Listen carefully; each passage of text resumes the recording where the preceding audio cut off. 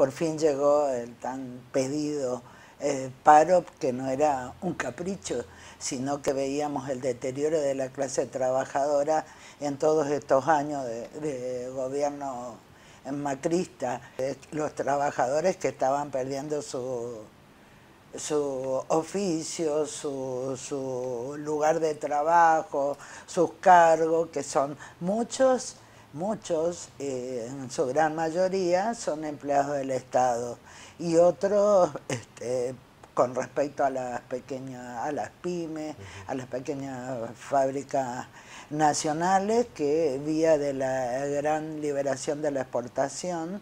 eh, van perdiendo, van achicando o van cerrando. Eh, el día de mañana confluyen en este paro general, pero nosotros en el día de hoy por eso la ACTA despliega 36 horas, porque este, a estos sectores que quieren hacer visible los acompañamos en toda su extensión.